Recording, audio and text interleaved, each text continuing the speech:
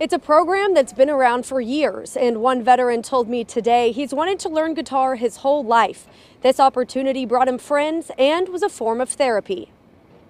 It's very calming for me. William Manley served in the United States Army for 22 years, and he's always had a love for music. I was in band, marching band, jazz band, orchestra, and choir all through high school. Like that's originally why I joined the military.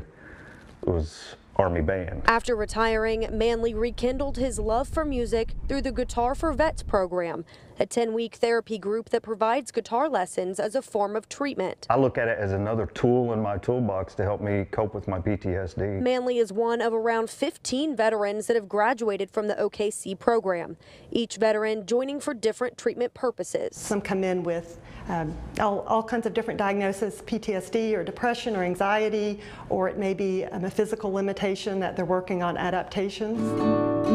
It's one of many programs to help veterans gain skills to boost their confidence and build relationships. I think it's a great opportunity for the veterans. It teaches them music, and they always say music soothes the soul. It does.